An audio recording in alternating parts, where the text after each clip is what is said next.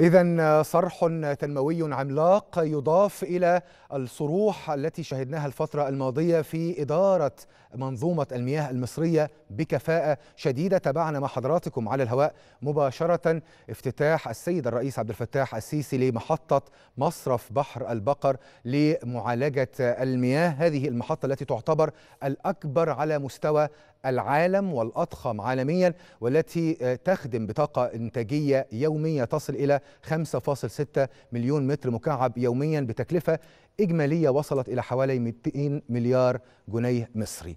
للمزيد من المتابعة حول هذه هذا الافتتاح وحول أيضا منظومة وإدارة الموارد المائية في مصر ينضم إلينا على الهواء مباشرة الدكتور سيد إسماعيل نائب وزير الإسكان لشؤون البنية الأساسية. أهلا بك دكتور. يعني بداية كيف تابعتم هذا الافتتاح اليوم والإضافة الخاصة لهذا المشروع الذي يعتبر الأضخم والأكبر عالميا في مجال معالجة المياه؟ أهلا وسهلا بحضرتك وجميع السادة المشاهدين. أنا عايز أقول اللي إحنا كلنا بنشوفه النهارده هو يوم جديد يضاف إلى سجل نجاحات الدولة المصرية واللي بتأكد فيه على مدى الحكمة ومدى الرؤية في إدارة هذا الملف الهام والحيوي جدا. ملف المياه اللي إحنا بنتكلم عليه النهارده لما بنتكلم على أكبر محطة معالجة مياه صرف زراعي في العالم. م. هذه المحطة هي الأكبر من نوعها في العالم. النهارده بتحصل على ثلاث شهادات دولية. م. أكبر محطة في المعالجة أكبر محطة في معالجة الروبة والرواسب. هي أكبر محطة في استخدام تقنيات حديثة زي الأذون في عمليات التعقيم. الأرقام اللي إحنا بنشوفها النهارده ولما نبص على طرح زي اللي, اللي شايفينه كلنا النهارده مدينة كبيرة نتحرك فيها يمكن آه كتير ما نجيبش آخرها. آه تقنيات حديثة إدارة على أعلى مستوى تنسيق ما بين جهات الدولة وبعضها. شوف النهارده التنسيق اللي بيتم ما بين الهيئة الهندسية للقوات المسلحة وما بين وزارة الإسكان وما بين وزارة الري وما بين وزارة الزراعة. آه الحمد لله آه لم نعد بعد نعمل في جزر منعزلة. بيحصل تكامل في الملفات ما بين كل الجهات وبعضها. محطة النهاردة بتضيف للميزان المائي المصري 5.6 من عشرة مليون متر مكعب ما يقرب من 2 مليار متر مكعب فقط في موقع واحد. ده تحدي كبير جدا مش موجود في كل العالم سواء العالم المتقدم أو غيره.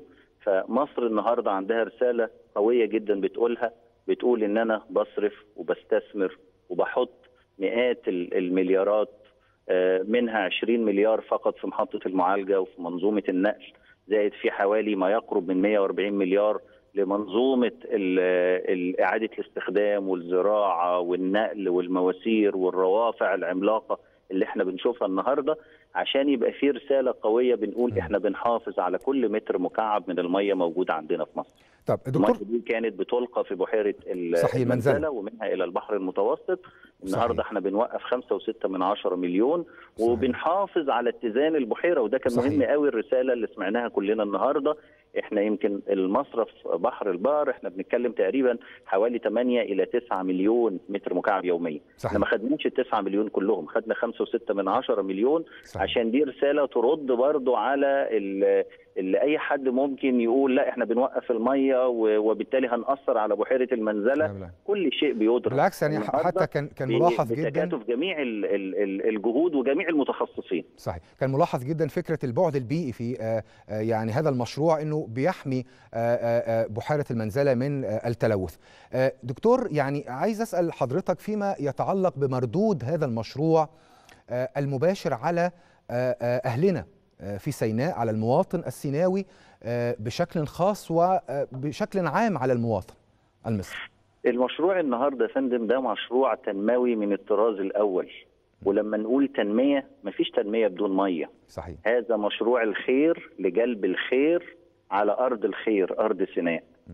النهارده عشان نتكلم على أهالينا اللي موجودين هناك اللي بيبنوا واللي بيعمروا واللي موجودين وقاعدين. مفيش أي بناء ولا تعمير بدون مياه آه نظيفة. مياه للشرب مياه للزراعة إلى آخره. آه لاحظنا النهارده إن تزامنا مع افتتاح هذا المشروع لإعادة الاستخدام في الزراعة يمكن العديد من مشروعات التحلية في سيناء شمال وجنوب سيناء صحيح. بيتم افتتاحها لمية الشرب م. فأنت بتوفر للمواطن على أرض سيناء الغالية جميع مقومات الحياة وأولها المية م. النهارده مية الشرب متوفرة فتقدر تسكن وتبني وتعيش مطمئن وفي نفس الوقت مية الزراعة متوفرة فتقدر النهارده نزرع ما يقرب من 500 ألف فدان نص مليون فدان تقيم عليهم كل الأنشطة المختلفة الحياتية اليومية حضرتك بتتكلم في تنمية حقيقية م. ليست فقط كمشروعات مشروعات وبشر صحيح. تنمية حجر وبشر في نفس الوقت ده بيستلزم أيضا دكتور سيد إنشاء مجتمعات عمرانية جديدة في شبه جزيرة سيناء والتوسع في مدن جديدة لاستيعاب يعني ال ال الأيدي العاملة واستيعاب كل من يعمل في هذه المشروعات النهاردة يمكن كلنا شهدنا وسمعنا كلمة دولة رئيس الوزراء فيما يتعلق بالمخطط الاستراتيجي صحيح. للتنمية بما فيها المجتمعات العمرانية الجديدة المجتمعات اللي بتتبني النهاردة على أعلى وأحدث طراز يناسب يناسب الموقع ويناسب البيئة المحيطة اللي موجودة فنتفق مع حضرتك تماما النهاردة بنتكلم في مجتمعات عمرانية جديدة بنتكلم في أنشطة بنتكلم في خدمات بنتكلم في كهرباء بنتكلم في شبكة من الطرق.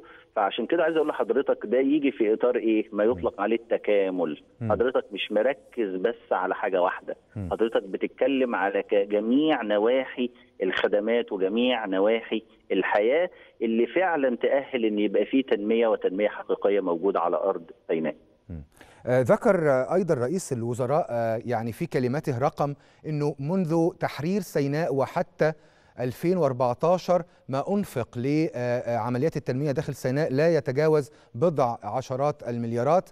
لكن من 2014 وحتى الآن الرقم وصل إلى كما ذكر رئيس الوزراء إلى حوالي 700 مليار جنيه. دلالة هذا الرقم ودلالة الاهتمام الشديد من قبل القيادة السياسية والدولة المصرية بسيناء.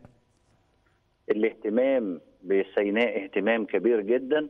النهارده لما بنتكلم على استثمارات في حدود 700 مليار جنيه ده تقريبا يمكن نفس الرقم اللي أعلنته الدولة المصرية للعمل في برنامج حياة كريمة صحيح. لجميع محافظات مصر.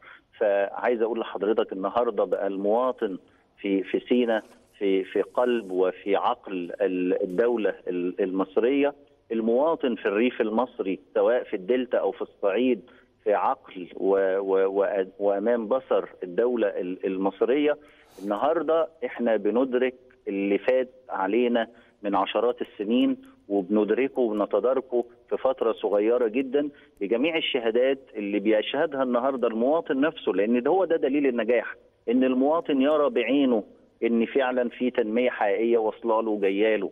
سواء بنتكلم في شبه جزيرة سيناء سواء بنتكلم في مدن القناة سواء بنتكلم في الدلتا سواء بنتكلم في في الصعيد.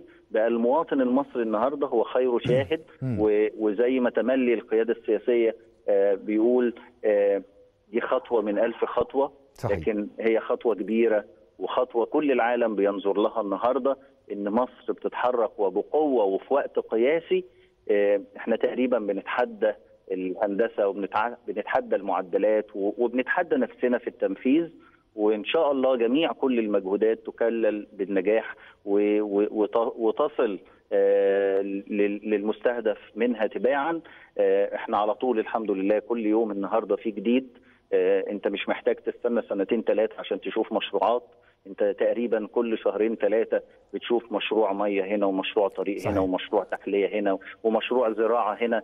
أعتقد المشروعات كلها مشروعات خير وبتنبئ بالخير. طيب دكتور سيد يعني كان واضحا جدا اليوم في كلمات الرئيس إنه إلى جانب أن الدولة لا تألو جهدا وإنها لا تتأخر عن أي مشروعات في خدمة المواطن. لكن على المواطن أيضا كما أشار الرئيس واجبات عليه ألا يتعدى لا يتجاوز فيما يتعلق الجسور المجاري المائية التعدي على الأراضي الزراعية كان كلام الرئيس النهارده حاسم في هذه المسألة إنه لن يسمح بعد اليوم بأي تجاوز للدولة ودعا المواطنين يعني بالحفاظ على مقدرات الدولة المصرية كيف تقرأ هذه التصريحات؟